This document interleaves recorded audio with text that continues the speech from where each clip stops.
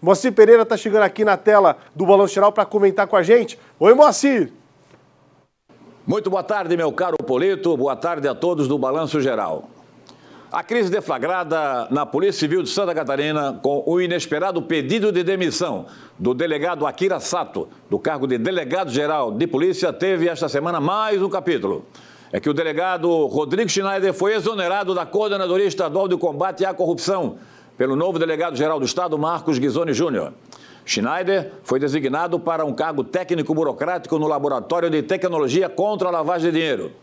Isso significa que o delegado Rodrigo Schneider não chefiará mais as investigações que vinha realizando na estrutura da Polícia Civil da DEIC, ele foi responsável pela coordenação dos trabalhos da Operação Oxigênio, Oxigênio, polêmica, famosa, de repercussão nacional, sobre o controvertido processo, até hoje não explicado, dos 200 respiradores que nunca chegaram com pagamento antecipado de 33 milhões de reais. E nada voltou para o Tesouro do Estado.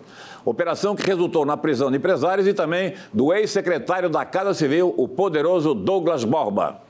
Schneider conduziu também um inquérito sobre supostas irregularidades em licitações no Porto de São Francisco do Sul.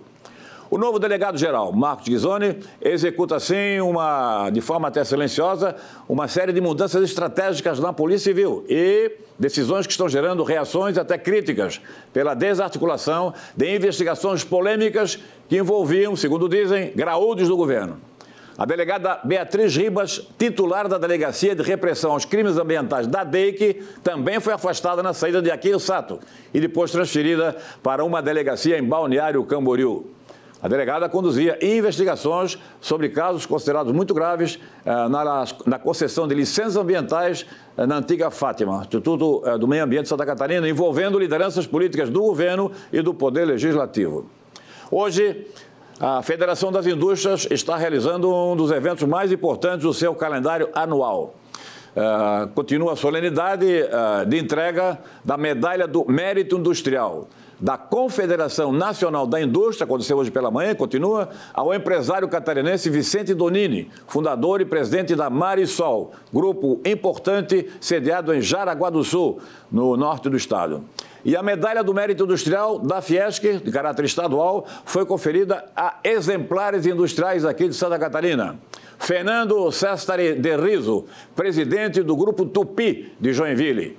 Vejam, mais de 30 anos na empresa, começou ali como estagiário. Grande exemplo.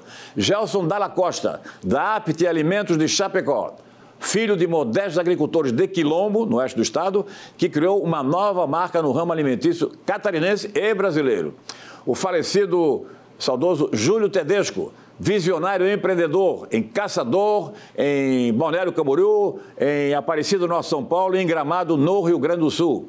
Sirivaldo José Barbieri, natural de Água Doce e hoje um dos maiores empresários da região de Treze Tilhas. Salés José Martins, fundador do conhecido Grupo Kili, de Pomerode, Vale do Itajaí. Nascido na pequena Major Gersino e hoje liderando um grupo empresarial com mais de 2 mil colaboradores e profissionais e Ricardo Minato Brandão, da Brametal de Criciúma, importante indústria que é líder na América Latina na fabricação de estruturas metálicas, produzindo para vários estados brasileiros e países da América do Sul são realmente exemplos extraordinários de dedicação ao trabalho, de criatividade, empreendedorismo, atuação comunitária e liderança na geração de emprego e renda aqui no estado de Santa Catarina. Portanto, grande iniciativa da Fiesc e os aplausos de toda a população catarinense para essas lideranças. São paradigmas para o estado do Bahia Verde e para todo o Brasil. Um abraço, Polito. Muito boa tarde a todos, excelente final de semana e até segunda-feira.